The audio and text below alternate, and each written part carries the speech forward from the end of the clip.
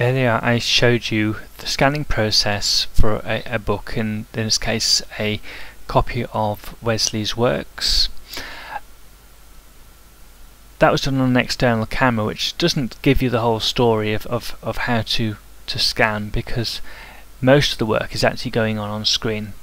So I'm using screen capture software to record what's going on within Advanced TIFF Editor.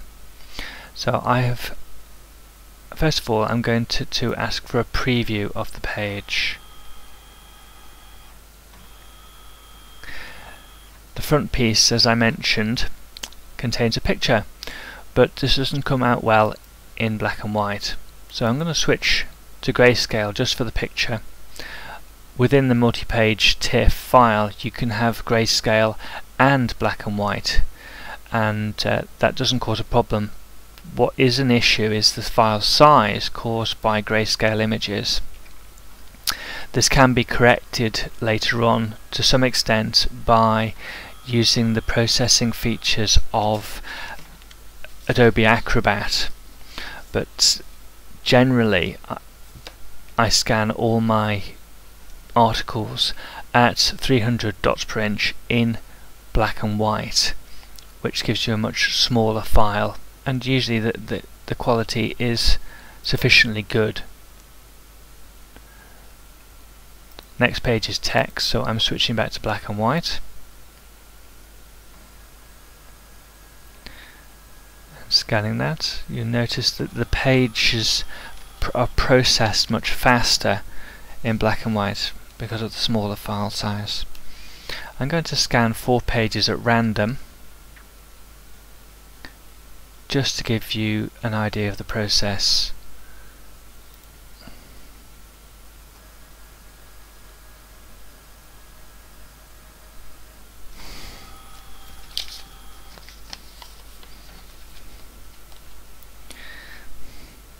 Using such an old book which has got marks and irregularities is deliberate in this case because I want you to, to see how you can correct such errors and produce at the end what I hope is going to be a reasonable quality image with newer articles, books.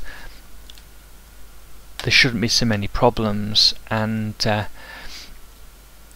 if you if it works with really old material like this then you would have no problem publishing uh, new material. Okay, finally you say no, you don't want to go to the next page. Um, you can get a preview of your pages. See this one is skewed because of the the irregular binding of the old book.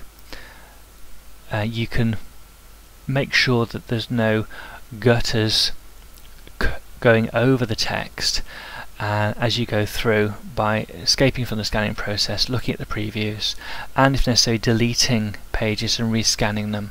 It's easier to do it at this stage than when you reach the end of a long scanning session and then you realize that half the pages in the middle are unusable because there is bits of debris or other marks on the page that make it unreadable. So I'm going to save it to the desktop using this file name and then that stage is complete.